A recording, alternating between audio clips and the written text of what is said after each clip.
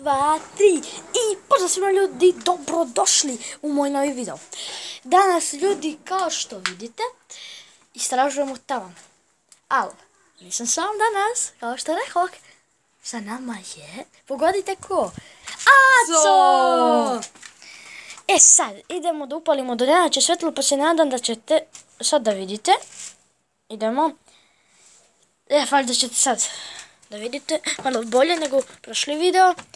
Da, malo bolje vidite, sad vidite nas, vidite tamnije je.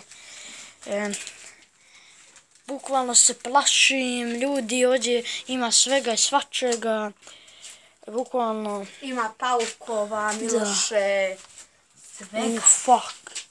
Ovdje su neke stare igračke. U, u brate. Nikad nisam bio ovdje, ljudi. Nikad nisam bio ovdje do kraja. Ja sam... Ovo će bude prvi. Evo ga, moj tavan. Izvinite što ništa niste vidjeli. Ovdje je moja jelka.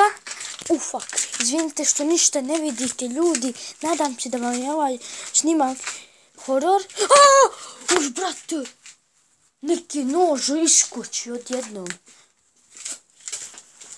Ljudi, znači ja sam se naježio, ako možete da primetite, znači...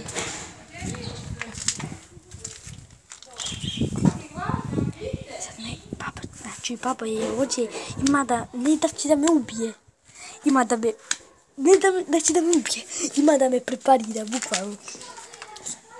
Moramo, moramo da završimo video tako da...